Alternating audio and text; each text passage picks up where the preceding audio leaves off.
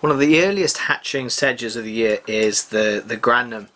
Uh, some rivers have an absolutely phenomenal hatch of them, uh, including my, my home river, the, the River Teifi in uh, West Wales, which is quite a, a famous river for the grannom hatch. Um, it's yeah, it can literally appear in clouds, and it is a very early hatching sedge. Uh, actually, both in terms of the time of the season, but also time time of the day. Uh, it's it, it, can be very much a, an early hatching sedge.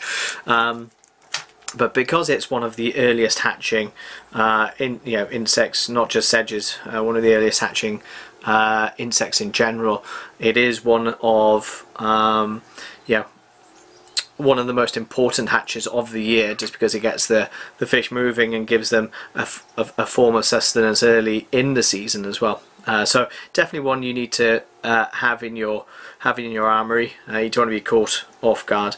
It's a reasonably small sedge. You're probably talking a 14, uh, probably 16 would be more accurate in, in, in fairness. Um, but when you do study the adults you will find they do appear in in different sizes as with most insect, uh, insects in, in, in general. Um, but yeah 14 or a 16 uh, does cover it well. In the vise here I've got the partridge SLD um, you can use again the SLD2 if you wanted to. I find the SLD just fine.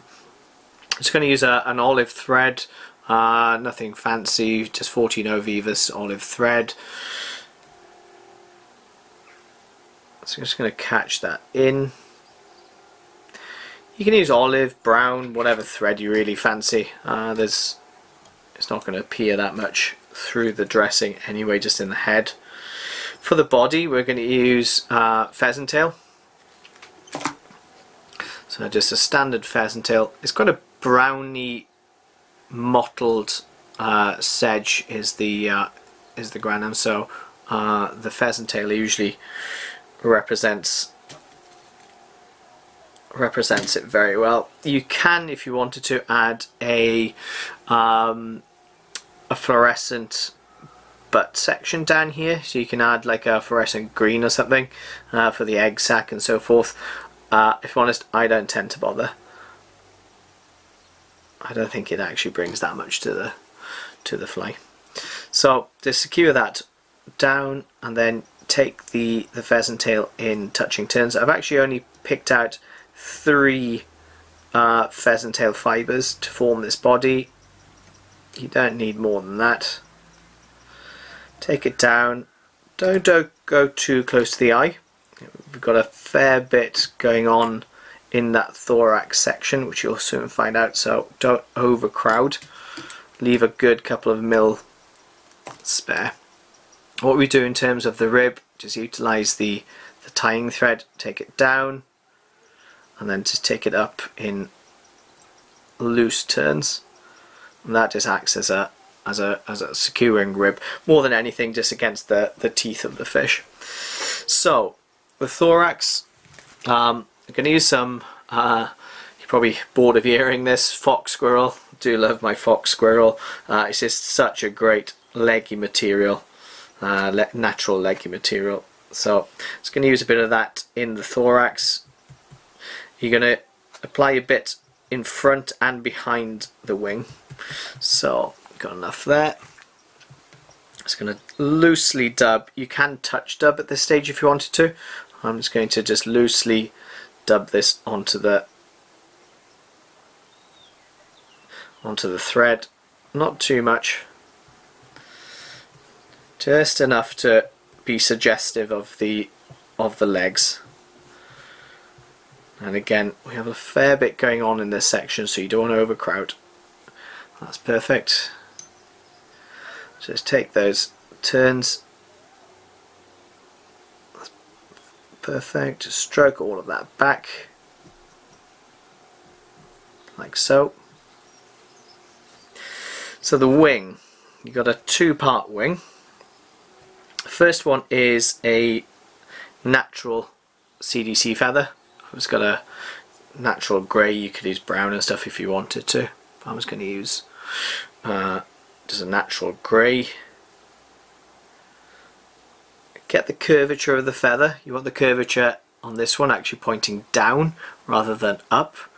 So you want this sloping over the body and take it just beyond the body. I'd probably say two or three mil beyond, sorry, the, the length of the hook. So just about two, three mil beyond the length of the hook. Trap that in, pinch and loop, a couple of securing turns. It's looking good. Snip off the excess. And then for the second wing, this is quite a strange feather. Uh, it's not something that automatically comes on somebody's radar. It's a Woodcock CDC. Now, good old Steve Cooper at Cookshill, uh, if I'm honest, before he told me about all this, I didn't realise that uh, Woodcock actually had uh, CDC, but yes, they do. Uh, there's only a few feathers on on each bird. Uh, last time I checked with Steve he did have some of these feathers. But if you see them it's got a natural mottling just that natural brown mottling running through the feather which is just perfect for these sedge patterns. Absolutely perfect. So it's picking out one feather and that is sloping back over the fly. And oh you can see that it just and if you see a grannom honestly that is so accurate a representation for the uh, for the grannom. So just have a natural material that does that is, is fantastic. And you obviously have the buoyancy from that CDC aspect. So lean it back over using that natural curvature again. Align it with the first CDC. When you're happy, go back, pinch and loop and secure it.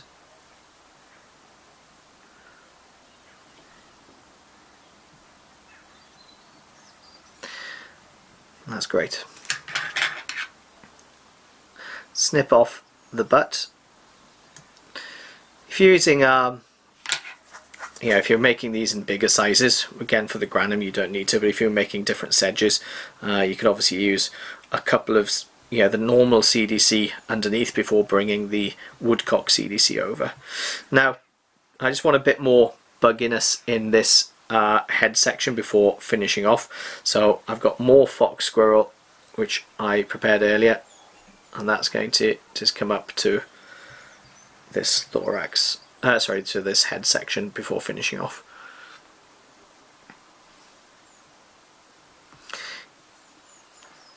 And it's quite a naturally fussy, yeah, a, a, a sedge is a fussy uh, fussy fly on the water surface so you don't want anything to be too neat in fairness.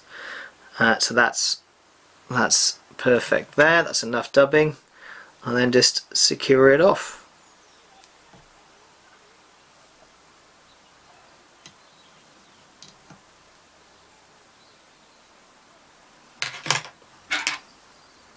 So that's the end of the flight that's just a great imitation for, for, for the grannom. What you can do at this stage is just pick out a few of these uh, fox squirrel fibres just to make it even buggier in that thorax section.